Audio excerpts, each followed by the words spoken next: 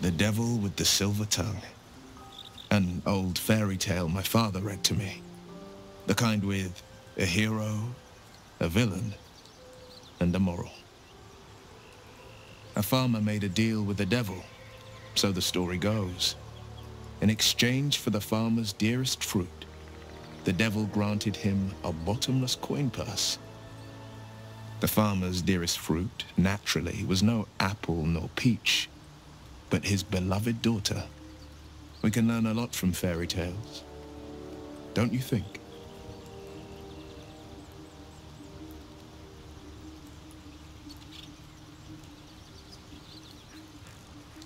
Refuse him no matter how tempting the offer, no matter how delicious the feast he lays out for you.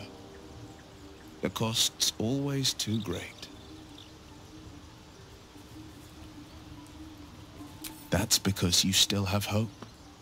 But when he becomes your last hope, remember this. He'll require of you only what you're least ready to part with. And then require more still. You might think you'd give up anything for a cure. But the devil won't take just anything. He'll take everything.